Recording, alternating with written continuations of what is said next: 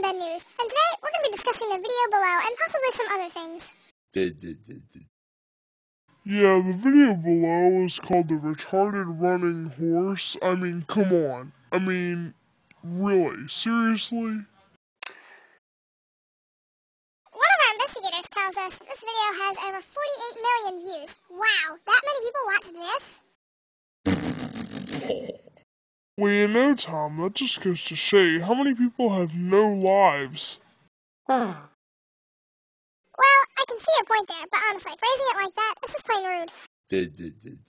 And that's anything new to you?